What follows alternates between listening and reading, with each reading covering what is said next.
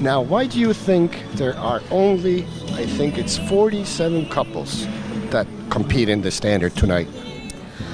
Uh, I think maybe it was uh, too late for the couples. The date of this Grand Slam was only in January, uh, and maybe, yes, maybe they don't come. Okay, now for you, nothing changes. It will be uh, four rounds minimum. And uh, your goal for tonight? Uh, for sure, yes, for good dancing. We hope to dance well. I hope it will be nice atmosphere, nice public, and uh, yes, we dance like every comp.